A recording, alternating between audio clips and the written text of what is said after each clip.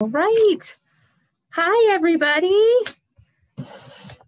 This is Ray and Katie from the Great Falls Public Library, and we are here with Katie Elam from Zoo Montana. And she has some new animal friends to introduce to us today. So um, I'm going to go ahead and turn it over to her. And I would like to mention that we do have some Bumpy Toad craft kits still available for pickup in Kids Place. And thank you all for your patience. We've had a lot of technical difficulties today, but I think we've got it all figured out and we're good to go. So take it away, Katie. All right, thank you, Ray. Hello, my friends. So because I am on the Zoom end of this call, I will be asking Ray to watch for any questions or comments that we get. Now, again, my name is Katie and I'm at the zoo at in Zoo Montana, all the way in Billings. So I'm pretty far from you, but I still think it's very cool that we get to do these virtual programs. Now today we're going to be meeting three different animals and talking about what makes them so dang special. But before we get started, I am going to introduce my friend who's going to be helping me with a couple of the animals. This is Brooke, and she'll be helping us with some of our animals today. Now, before I bring anything out, I wanted to let you know, I'm not going to bring anything dangerous with me today. However, I might bring an animal that you're not a big fan of. And I want you to know that's totally okay because I work with animals for my job, and even I have animals I'm a little bit afraid of. What I want you to do is if you see an animal that you're afraid of, just take a deep breath and know that you are safe, know that we are safe, and that you can learn something about this animal, even if it's a little bit weird or a little bit spooky. Now, once again, you are more than welcome to leave comments, leave questions in the comments of the Facebook notification there, that Facebook screen, and Ms. Ray here will happily send those on to me.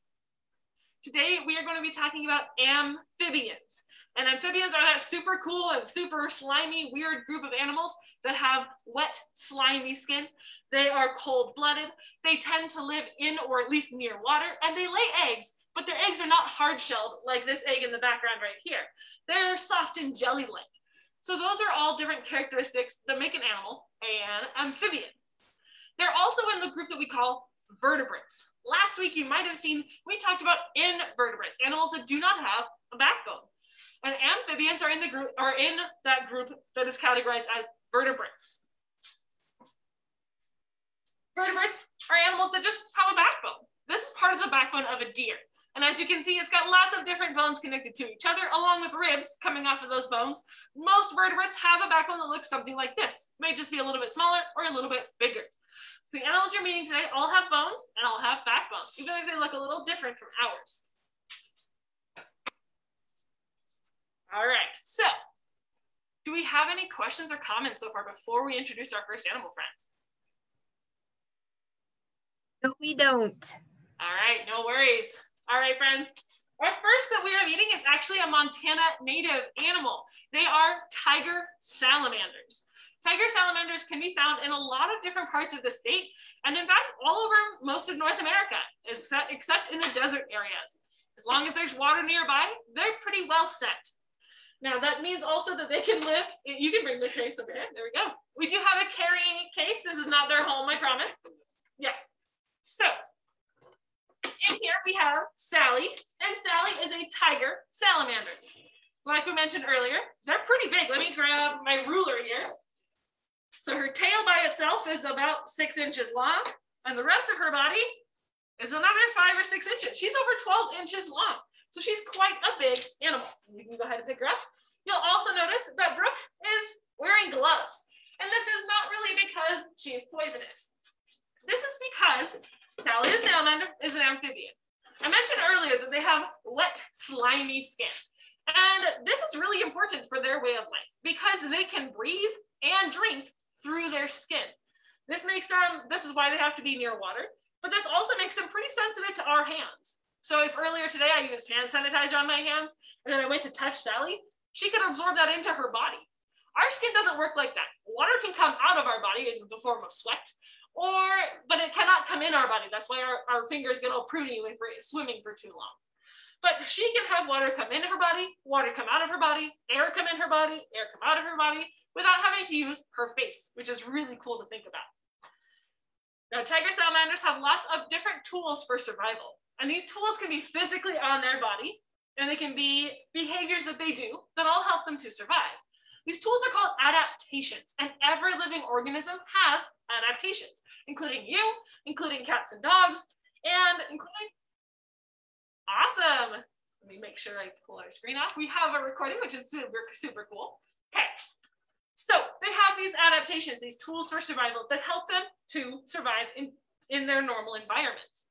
Now, they can live in Montana and throughout North America because they are mostly an underground animal. They use their strong front legs to dig tunnels underground. And this helps them to avoid very hot temperatures and very cold temperatures. And they even hibernate, like a, a similar to a bear, over the winter to make sure that they can survive. And we are going to bring Sally nice and close to the camera for you to get a good look at her before we keep talking about her other adaptations or tools for survival. There we go.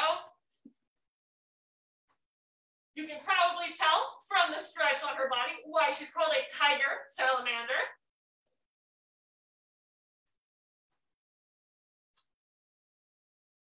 Nice. All right. So as a tiger salamander, she's got those stripes on her body. She's got a greenish, tannish, brownish body. It's about 12 inches long, like we mentioned earlier. She's got very strong front legs there that help her to dig tunnels and also move herself across the ground. And she also can swim although as an adult, it's a little bit more difficult. You probably know that many frogs, which are a type of amphibian, have a metamorphosis cycle. They start out as a tiny little egg, and then they hatch, and they are what we call a tadpole. And I actually have a little life cycle here to show you. All right, let's see. Oh, I think it's flipped around. There we go. So we start off with our egg right here, and then our tadpole, this one starts to develop the two legs, and then it has four legs here. And then it's an adult with no tail and four fit legs. That's called metamorphosis. And amphibians go through this too. Salamanders are a little bit different. They don't have quite as many stages. When they hatch out of their egg, they still have their four legs and their tail. But one thing that is different is they have what's called external gills. If you've ever seen a picture of an animal called an axolotl, it looks like it has a little fringe around its neck. Those are external gills. They help them to absorb water or absorb oxygen from the water. And that's what baby salamanders have when they hatch out of their eggs. Once they're growing up and growing big enough, they'll have internal lungs like we do that allow them to go on land. They can also retain their gills along the side of their neck if they need to live in a more wet environment when they're adults. So there's a lot of flexibility in the life of an amphibian which is really cool. Now, do we have any other questions so far? No questions so far, but I left a uh, comment. So if you have any questions about this fantastic salamander or any of the other Zoo Montana animals, if you leave it in the comments and I will pass it along to Katie and Brooke. Perfect. All right. So salamanders are carnivores, or at least this species is, the tiger salamanders, which means they eat other animals. In particular, tiger salamanders are focusing on small invertebrates mostly. So insects, spiders, other small critters that live in the water. But they will also go after larger things like small mice or small lizards, other small salamanders, even small frogs. Anything that they can catch, they're going to eat, which is part of why they're called the tiger salamander. Not just because of those stripes, but also because of that appetite that she has. You might also notice that long tail. I mentioned earlier that her tail is six inches long and her body is 12 in, or six inches long as well. So that really long tail helps her to move very fast in the water if she does need to swim because it helps like a rudder to move her through. It also is pretty powerful. One of the coolest things about this particular kind of amphibian though, is the way that they can regrow some of their legs or some of their limbs. If an animal catches her by her tail and chomps it off, she can regrow it and same with her legs. If she gets enough food and survives the shock of it, she can regrow that tail, those legs, and be perfectly fine. In the wild, these animals tend to live about eight to 10 years, which means with us here at the zoo, she might live as long as 15 or even 20 years. So she has quite a long lifespan left ahead of her.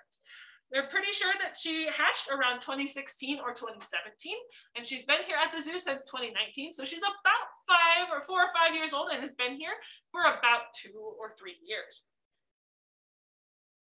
All right, my friends, if there are no questions so far, I think we can move on to our next animal friend. And I also think one of your craft activities is about a beaded salamander. So that's a cool one to check out.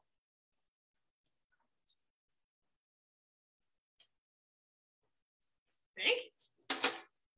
All right, friends. There we go. So we just met our first amphibian. And salamanders are just one of them. There's multiple kinds of amphibians in the world. There's another one called caecilians, which is a very weird name, but they look like worms, except that they have bones because normal worms don't have bones. So those are groups that we don't have here at the zoo. But the other two groups of amphibians include frogs and toads. And that's what we're going to talk about next. Now, the difference between frogs and toads can be a little bit strange because they don't always look very different. But typically, if you think of frogs, you think of the rainforest tree frogs or the poison dart frogs that live in South America. And when you think of toads, you probably think of the large, bumpy little toads that don't jump very far. And that right there tells you pretty much a big difference between frogs and toads. One of the things is their bumpy skin. Toads have very bumpy skin because, not because they're gonna give people warts, but because they have special glands under their skin that help protect them. Many toads are poisonous because this helps them to protect themselves with their soft skin. Poison means that there's toxins inside their skin, right? If they bite something, it's not going to hurt that animal.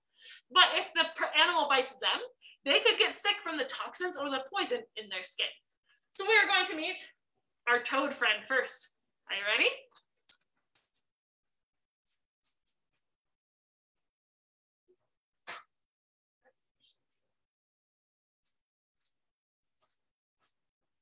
All right, my friends, this here is Cheech. And Cheech is a cane toad. Cane toad, C-A-N-E. They are from South America. And as you can see, she's ready to come out and meet everybody. Cane toads, again, are from originally from South America. And they're called cane toads because they tend to live in cane fields, sugar cane fields. Are you ready? And in those fields, they typically eat a lot of other animals, like in uh, cane beetles or other small animals. But humans decided that they needed their help eating those cane beetles in other places, like in Australia. These toads are not from Australia, but when they started growing sugar cane in Australia, they needed the help of the cane beetles, so that or the cane toads, so they brought them out. And then cane toads became invasive. So we're gonna talk about what invasive means in just a second, but I wanted you to get a good close up of Cheech here. You see she's got those stumpy legs, those big old toes right there. She's got big strong legs in the back here. This puffed up area behind her eyes, that's one of her poison glands. She's not excreting any poison right now. Normally it's a big white color. So she's not super unhappy right now. She's just kind of hanging out for a second. But look how big her eyes are and she's got horizontal or horizontal pupils. She's got her nose that's moving, and then that little pouch that's moving behind her eyes is actually her eardrums. So they've got good hearing, they've got good eyesight, and they've even got good smell too, which is pretty cool. All right, I'm gonna let her sit back in here so she feels more comfortable that way. Whoop, there we go, hi. All right, I think we're gonna let her go back because she wants to go back to her house. Give me just a second here.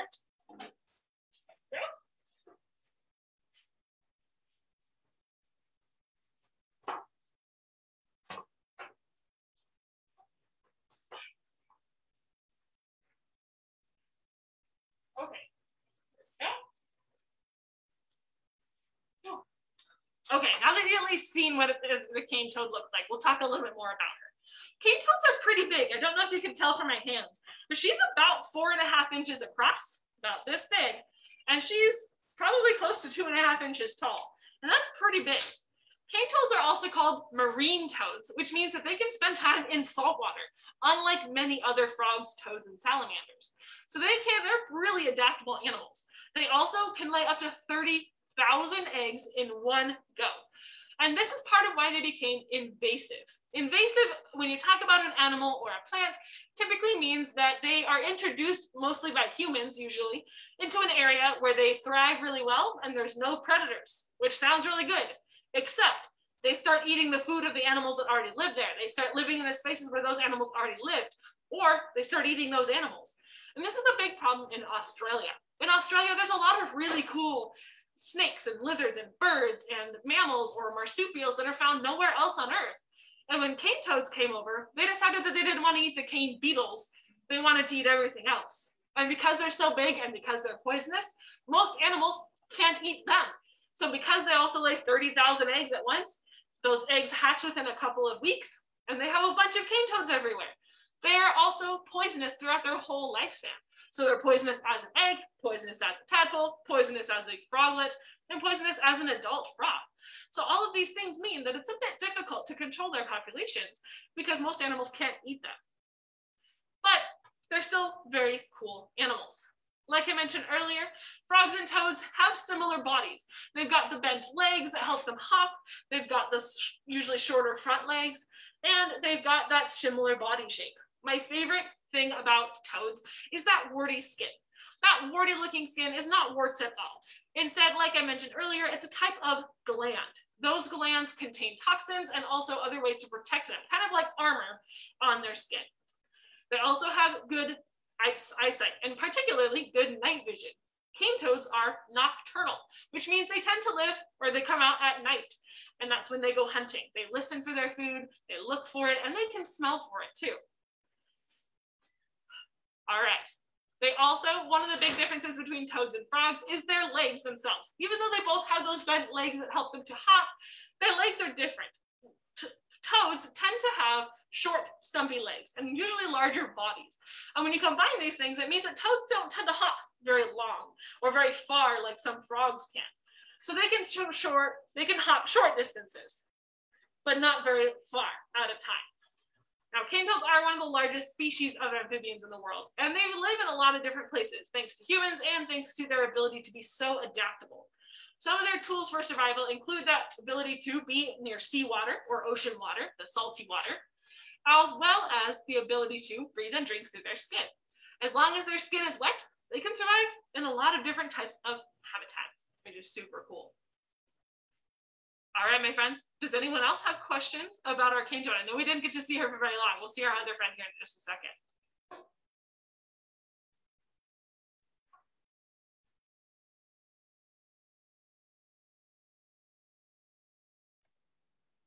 Nobody has any questions? I find that really hard to believe, guys. You really don't have a question about the salamanders or the toads?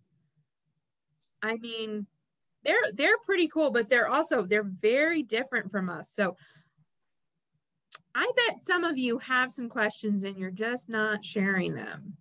So now the time. now would be the time. All right, friends, while you're thinking of any questions that you want to share with us, I'll tell you something else pretty cool about amphibians. And it's something that I mentioned earlier, and that it is they are cold-blooded. Cold-blooded just means that their blood temperature changes depending on their environment. It doesn't mean that their blood is actually cold all the time. So the scientific word for cold-blooded is ectothermic. Ecto means outside and thermic means heat. So outside heat. We, humans and other mammals, are warm-blooded or endothermic, inside heat. Some of the energy from the food that we eat goes to keeping our blood at a solid 98 degrees. Doesn't matter if it's 100 degrees outside or zero degrees outside. If it's really hot out, our body sweats to keep our blood at 98 degrees. If it's very cold out, our body shivers to keep our blood at 98 degrees. But no matter how much food an amphibian eats or another cold-blooded ectothermic animal eats, all it's going to do is feed them to do other things. It's not going to warm up their blood. So instead, they have to rely on the sun or shade to help them. If they're getting too hot outside in a desert sometimes, they might just become a nocturnal or a nighttime animal. Or if they are too cold during the night, they'd have to find a nice warm spot to stay in so that when the sun comes out, they can warm themselves up because they can't do it themselves. They have to let the sun do it or the environment around them. This is very important and that's also why you don't see very many amphibians or reptiles or other cold-blooded animals in the north. Here in Montana, we have about I believe 10 different species of snakes. We have about four different species of lizards and a few different toads and frogs, but not very many compared to a lot of other places that have tons of species. There's over 300 different kinds of toads in the world, and most of them live in the warm areas of the world. So we don't have very many here in Montana. Now, if you've ever found a salamander or a toad in the wild, good job. The part of the thing about salamanders and toads and frogs is that they're pretty hard for people to find in general. Part of that is because they come out at night or they're on the ground or underground. Fun fact, the word for an animal that lives underground is, so arboreal is up in trees, on the ground is just on the ground, and underground is a really fun word. Does anyone remember it? Let's see if you remember it. Hmm. Let's see. I'm quizzing you because I'm trying to remember the word for it too, but it's a really big word. It's a really cool word. I kind of like it. So if an animal is arboreal, it lives in trees. If it lives on the ground, let's see. Lives underground. See, it's okay if you don't always remember things all the time because I have a hard time with that. Let's see. Oh, I love this word. Okay. It sounds like a different word, but the word is fossorial. F-O-S-S-O-R-I-A-L. A-L. So fossorial, which sounds like fossil to me, means that they spend time underground. And that's also why you don't see many amphibians here in Montana. They tend to spend their time underground during the day when it's nice and hot, especially in the summer. And in the winter, when it's too cold, they'll also be underground because it's a little bit warmer underground. And usually a little bit more moisture is underground as well. However, if you do ever see an amphibian here in the wild, it's super cool to watch them. Just be careful because some of them can be poisonous and you might not know it. But also, you want to make sure that you're not going to touch them and have them absorb the stuff that's on your skin. Remember when we talked about the salamander, I said that they have the ability to drink with their skin, right? They don't even have to open their mouth. That also means that if you have sunscreen, bug spray, hand sanitizer, any of that, or lotion on your hands and you pick up an amphibian, it'd be like if you drink hand sanitizer, lotion, bug spray, sunscreen. It's not good for us and it's not good for them either. All right, I've been rambling for a bit. Do we have any other questions or even comments? Has anyone seen one here in Montana, a salamander or a toad? So unfortunately, we don't have any other comments. And I, so I've been in Montana for five years. I don't know that I've seen very many, um, but I grew up in Indiana and I used to catch toads, little tiny toads, all summer long. That's awesome. But then I went back to where I used to catch them and I didn't see any. Ooh. All do you do you happen to know why that might be? I bet you I can make a good educated hypothesis for you. So we're gonna think about that though. I want you all who's watching this to think about that too. Why do you think we don't see them anymore in some places? Because we still have one more animal friend to meet, so I will bring them out so that you can see them. And then after we talk about that one, we'll talk about why there may not be as many amphibians anymore. All right, here we go.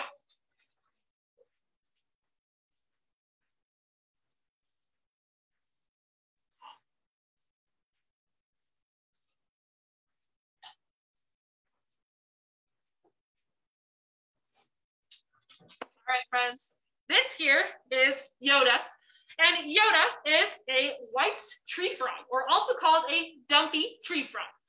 Now, these adorable little frogs are all the way from Australia, but they're also a pretty common pet here in the United States. And it's pretty awesome. They have some really amazing adaptations, and it also can kind of show you the difference between a frog and a toad. Hey, buddy, can you come here? There we go. All right, I'm gonna bring it close to the camera for you to see. So as you can see, he's got that shiny, slimy skin, which is normal for frogs and such. There we go. He's got those big eyes like we saw with Cheech. Let me see if my camera will just focus on our friend here.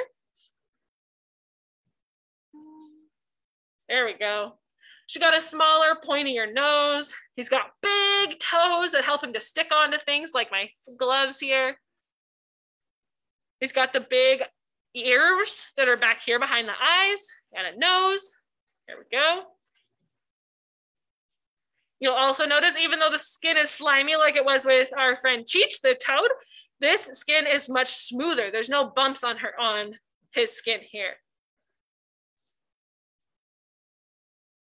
All right.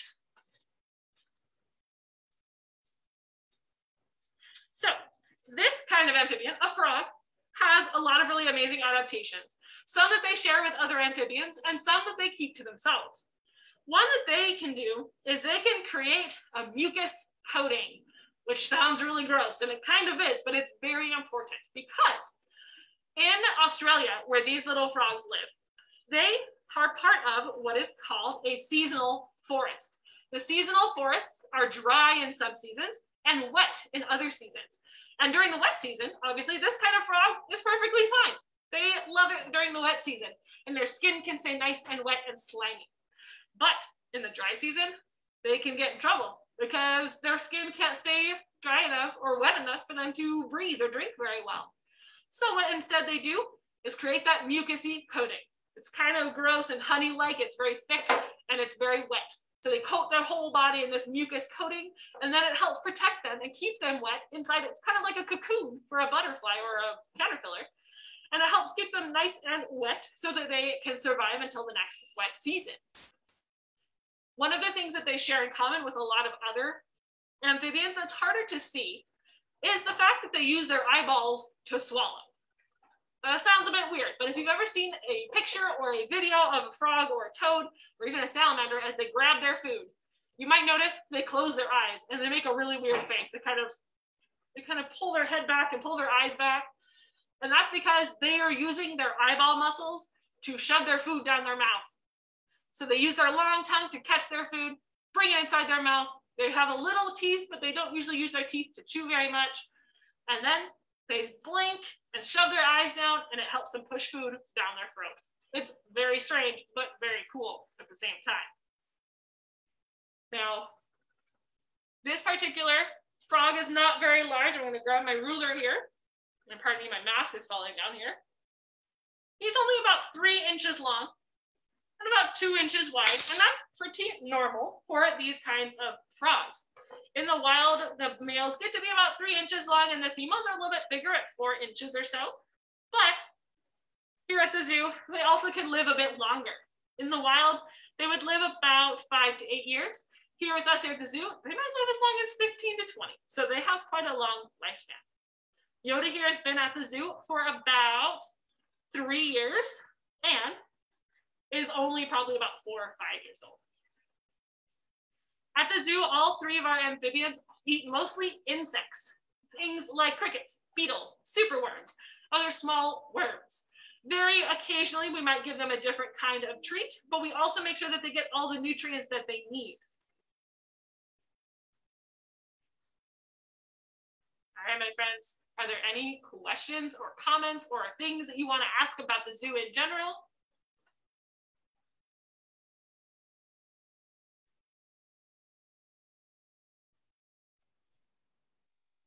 Questions came in on Facebook. That's totally all right. No problem. Oh yeah, then we were going to talk about Miss Ray's question about why we don't see as many amphibians in some places. Remember earlier and a lot during this program, I've mentioned the fact that amphibians can breathe and drink through their skin. Now this is a super cool adaptation. It allows them to live in a lot of really interesting environments and allows them to not have to use their mouths for breathing or drinking. However, it also means that they're very, very sensitive to water. If the water is unhealthy in any way, if there's lots of toxins or pollution in the water, they absorb that into their bodies and then it can make them very sick. Here at the zoo, we're even careful to use a specific kind of treated water to make sure that they don't get sick from the water that we use here. So that means that in the wild, they can be very prone to getting sick. People use um, pesticides, like trying to get rid of mosquitoes. If we use those outside, they might get they might get these guys sick because they're like, oh, I found a dead mosquito, yay for me. And then they eat it and they can get sick from that. Or if they accidentally are nearby when we spray those mosquitoes, they can get the spray in their body. Also, because that spray is near water, because mosquitoes are near water, it could get in the water and make them sick. Also, there are a few other challenges that they face with climate changing and things getting a lot hotter in a lot of places, or at least not as good as they should be in some places.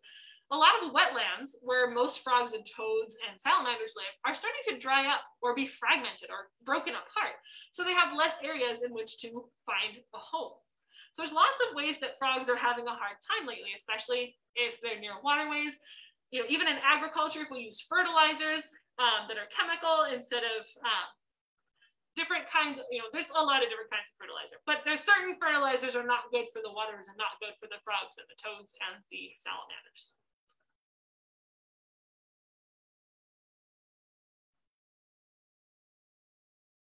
All right, friends, I'm just gonna bring Yoda here closer because I just wanna show you again how freaking cute this little frog is. Look at this little frog.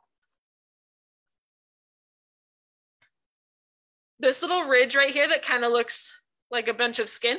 That little ridge right there is pretty characteristic or pretty often found on White's tree frogs. So that's one of the ways that it's easy to identify them. They kind of have that extra fold of skin over their eyes. You see his big old toe pads that help him hold on to things. Oh, look, he's just saying hi. big long legs he's got tucked up underneath him that can make him leap really far if he wants to. He's even got little white dots on his back. Those little white dots are just one of the things that tells you that he is a White's tree frog.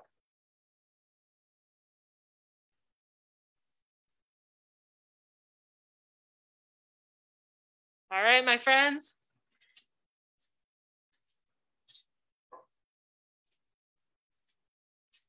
We don't have any questions, I'll go ahead and let our friend here go back. I'm gonna give him a little bit more water because he's been out for a bit. And I want his skin to stay nice. But if we don't have questions, I'll let him go back and then I'll talk to you a little bit more.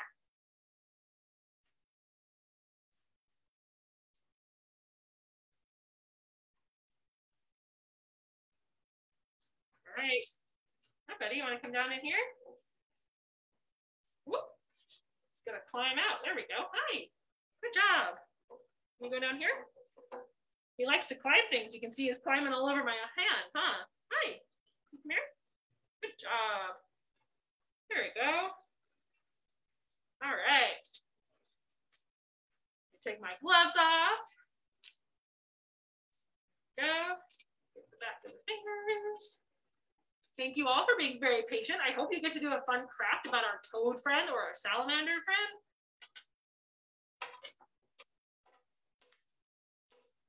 And we do have lots of really awesome amphibians, Well, not lots, but several, lots of, or several amphibians here in Montana that are really cool. And one of my favorite resources for identifying them is the Montana Fish, Wildlife, and Parks. Um, uh, they have a field guide online that you can either print out or you can just take pictures and compare it to their field guide. So if you go outside and you see a frog or a toad or a salamander, you can take a picture of it and then look online to see what kind it is here in Montana. It's super cool. And there's even times that you can help frogs and, and, other amphibians themselves. And that's during their breeding seasons, especially salamanders, but sometimes frogs too. They travel long distances to find each other. You'll often hear them calling at night in the summertime. They make a beautiful chorus because they're calling out for their friends or their families. And when they're doing that, sometimes they have to travel across roadways. So if you're ever driving and you see something that says salamander warning ahead, that means that there might be salamanders on the road. So if you can slow down or help any salamanders across the road, if you can do it safely, that can be a one way that you can help salamanders too and amphibians in general. All right, friends, does anyone have any questions? No questions.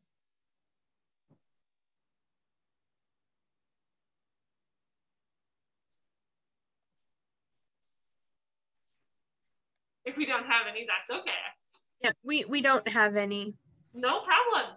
All right, my friends, next week, I'd love for you to join us. We're going to be showing you a different group of animals. And this one is a really different, diverse group of animals. They all look very different from each other and they're super cool. So join us next week to learn what the animal is going to be. Make sure you get your craft kits from the library. And in the meantime, we'll see you later. Thanks so much for watching today. Thank you so much for uh, for sharing your amphibians with us, Katie. Absolutely. Thank you, Ray, for hosting this and for working through those technical difficulties. You did awesome. Yes.